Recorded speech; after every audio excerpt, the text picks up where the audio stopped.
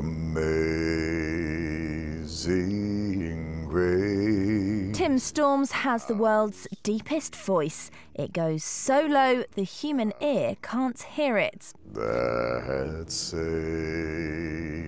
Tim holds the Guinness World Record for having the widest vocal range of 10 octaves. My lowest note uh, would be somewhere around if, if you were to take another piano and, and sit on the bottom, on the left side of a, of, of a piano, that would be about how low I can go.